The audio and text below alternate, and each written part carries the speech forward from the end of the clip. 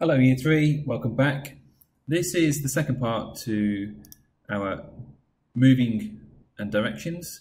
So we had this working at our last video and we showed how to tidy up our code so that Pico could move a lot easier. This time we're going to move the other characters and and make this game sort of have that sort of game feel where we're we're chasing something and we are hopefully going to get some points and scores.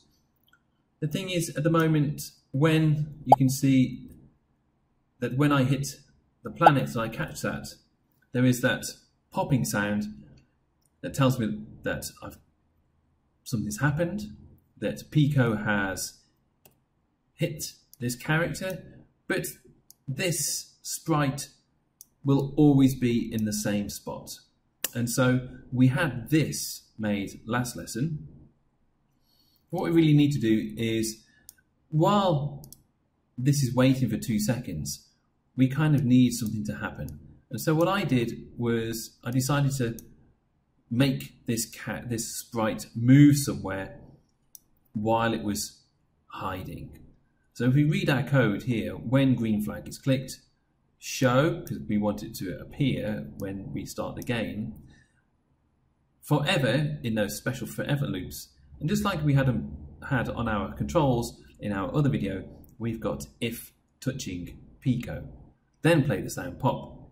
Once the pop happens, it's going to hide.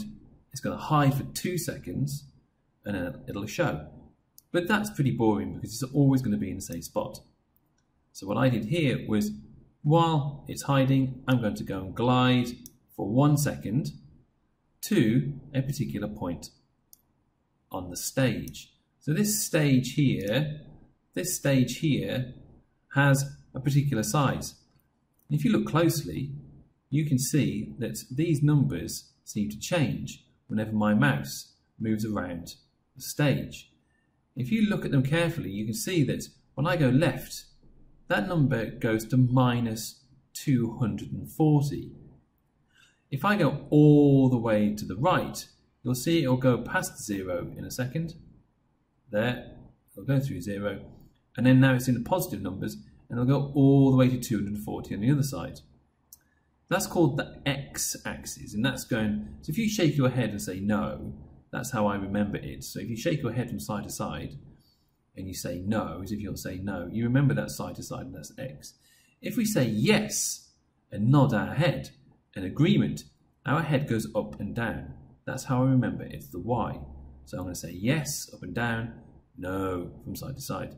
And you can see that my number changes in the y-axis too, and it goes all the way to minus 180 to the bottom of the screen.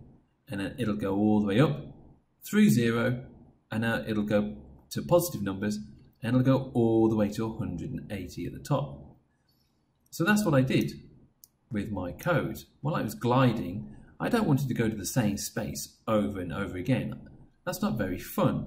Instead, I want my computer to choose, I want the game to choose a random space on here that I have to go and chase. Okay, so my random operators are actually here. And what I did was change it to its maximum values on either side. So x, remember, when we cross our head from side to side, we've got x minus 240 to plus 240. So that's what I've got in there, and I've typed it in there, and I changed the number to minus 240. And remember, we had those oval shapes, and they go in the oval shapes there. And on the other side, I did minus 180 to 100, 180 positive. So I'm going to go and slot that in there. And you can see that it's give while I hold my mouse down, you can see that it's asking me where I want it to go in that piece of code, in that simple forever loop. So in my if statement, if it's hitting, it'll hide, hide for two seconds, It'll glide while it's hiding, it should be invisible, and it'll show again. So let's see what this looks like. I'll make sure that I've clicked my green flag.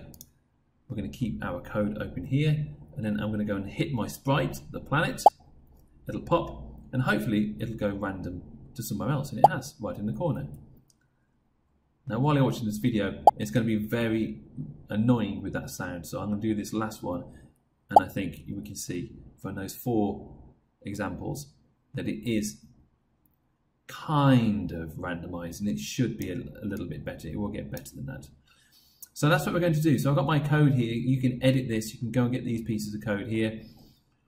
While we're doing that, your task now is to work out how can I make this game better? If we're going to play a game, let's say we're going to play a game of football, the idea is that we score goals and we get more points, or goals as we call them. We start at zero. Computer games generally start somewhere else. How can we make our game using points and scores and things like that to make this more competitive? Do we choose more do we choose more points? Do we add points? Do we get points when we do here?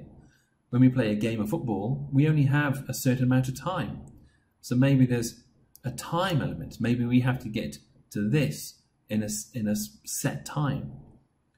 Maybe this is only here for a set time. Maybe it only shows for a set time and then hides again, in which case we may have to go and use another wait button somewhere in here. And you can see that I've very cheekily put in half a second. This is up to you. That's your little task. That is week two.